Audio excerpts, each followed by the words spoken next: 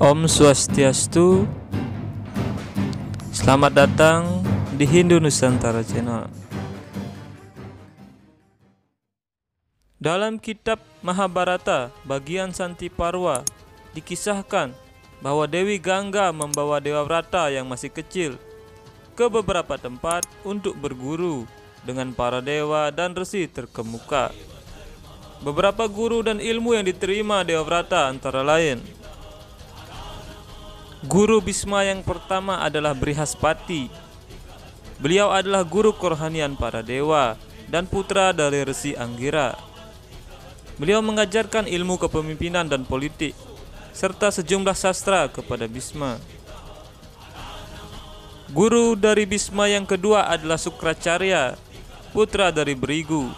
Dia mengajarkan susastra Hindu dan ilmu lainnya kepada Bisma.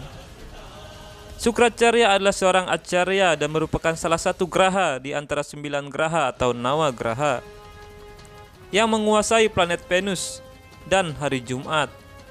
Sukracarya adalah guru para raksasa. Konon, dia mengetahui mantra sakti yang disebut Merta Sanjiwani yang mampu menghidupkan orang mati meskipun jenazahnya telah menjadi abu. Guru dari Bisma yang ketiga adalah Resih Wasista Beliau mengajarkan catur Weda, Wedangga, dan kitab suci lainnya.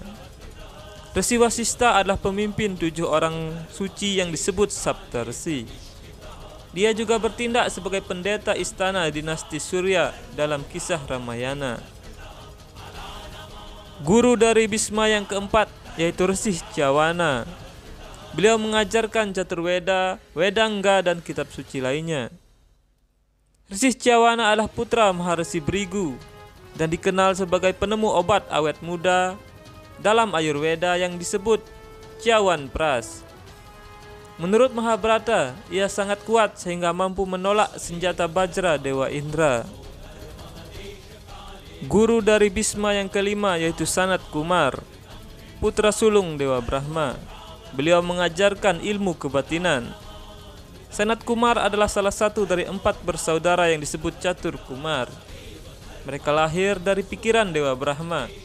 Mereka merupakan empat resi yang bersumpah untuk membujang selamanya, bertentangan dengan kehendak ayah mereka.